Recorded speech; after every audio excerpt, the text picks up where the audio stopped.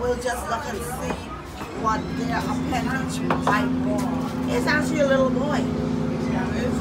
Here, here, here. See, it's developing. So if it were a girl. That's boy. If if it were a boy, if it were a girl, it would just have that appendage alone. Okay. That piece. Oh, okay. Now, guys, let me tell you a little factoid. The conchs are also able to produce pearls. Um, Just like an oyster, they Oh, can okay. produce pearl. And this is where, let's see if you, you um, got anything. It would be in here. Let's look. Sorry, guys. No, no pearl, no pearl, no pearl. So the pearls can range in color from this light pink to this color here to a darker pink. Are we taking out another count? That, that I already cracked this one. You can pull this one. Okay, so we're gonna pull this one out. Pull it.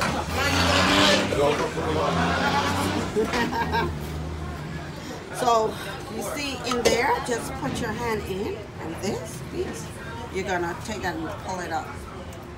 Just hold it by that. Instead of boom,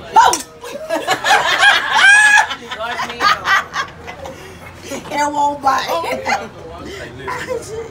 Look, that Trick was scared and he didn't even know hold it by to that. Just hold it by that, just like if you were to hold a it bull by out. the horn. Yeah. Just hold it and pull, pull, pull, pull, pull, pull, pull, pull, pull, pull, pull, pull. So mm-hmm. let me show you again. Oh. Any of you other guys want to try this pistol? Nah, I'm not gonna try to It's not for a female, it's only for the male. Oh, okay. Aphrodisiac. I get it. There you go. Now let's see what you had. If you had a boy or a girl, you had a boy because I don't see a line here. Mm-hmm. Usually oh, there's the exact line that would come here, uh-huh. but you see, it's like, and I'm off of that right now. And I want you to notice something. Look here, this one, he's very developed. Oh, good. So Look, watch that's the this. room with the TV going. That's a male. So now let me explain to you. Sometimes the male, the male conch are able to have three to four of those appendages. Okay, and let's see if you got any pearl in there. No pearl, no pearl, no pearl. Sorry, you weren't that lucky. Let's use the one around your neck then. You crazy? Can I get a piece of napkin, please? So now let me tell you about the shell. The shell and the conch, they're both living organisms. So as long as the conch is alive and in that shell, the shell is also alive. They uh, grow together.